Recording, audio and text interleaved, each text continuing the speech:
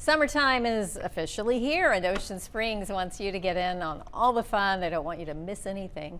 That's why the city is actually launching its 99 Days of Summer campaign. I love this idea.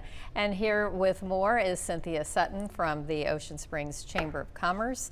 Executive Director, thank you so much for joining us. Glad to be here. Yeah.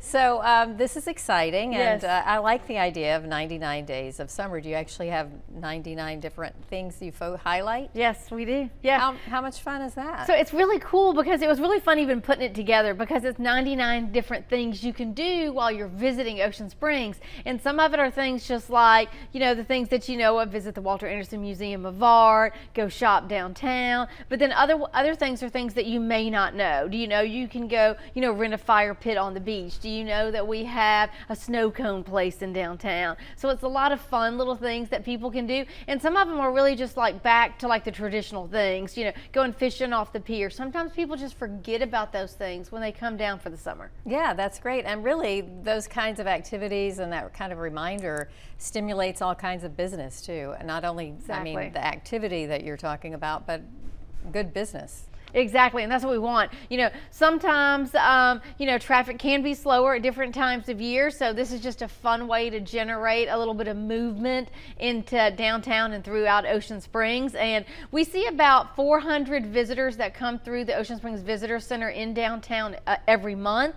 So this is a fun way just to kind of tell a little bit of the story of Ocean Springs and what you can do. Yeah, that's great. And are there pamphlets around town, or how do people? I know they could go online, I'm sure, but is there something yes. that's we post being passed around yeah. or listed in different shops and restaurants yes. and things like yeah. that. Yeah, so exactly. So uh, on our Facebook page every week we like um, forecast the week of different fun things you can do, but you can actually go to the Ocean Springs Visitor Center in downtown Ocean Springs at the historic L&N Depot and grab a pamphlet, a booklet with the 99 things to do. If a family's in town, we have a fun little basket with kids sunglasses and fun little stickers and things like that that people can grab because we just want people just to have a special and happy time when they're in Ocean Springs for the summer. Yeah. How is the tourism in Ocean Springs? Mm. Because I know you have a, a couple of new boutique hotels and yes. and things are really well, it's growing. The city it, is growing. It really is growing. Like I'll say, like a good example is I used to say more than 50% of our business is business is tourist traffic.